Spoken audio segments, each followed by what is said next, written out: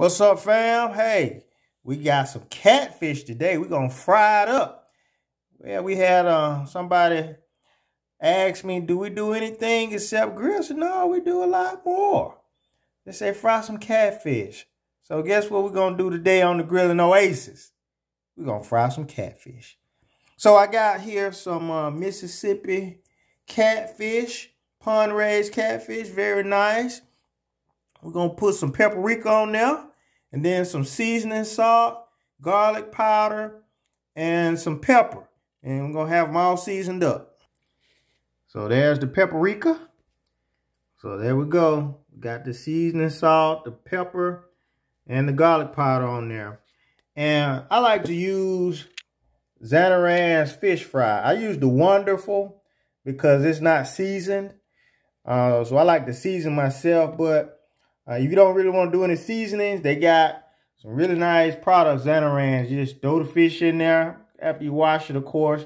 It just comes out really nice. So, fam, we then put a couple of pieces of fish in our uh, seasoning here, our fish fry seasoning. Uh, we got our grease hot. And we're just gonna drop these bad boys in the in the grease and let them cook about seven minutes. And we're gonna call it uh, a nice fish fry.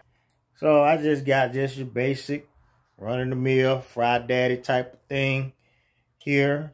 Um, when the light's on, that means the grease is warming up to the proper temperature. When the light goes off, she ready to cook.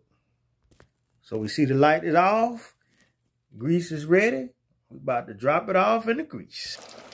So that's what she looks like, fam. We're gonna let her cook seven minutes. We'll be back to get out some golden fried catfish. All right, see you in a minute, fam. All right, fam, we got about three more minutes left on our fish.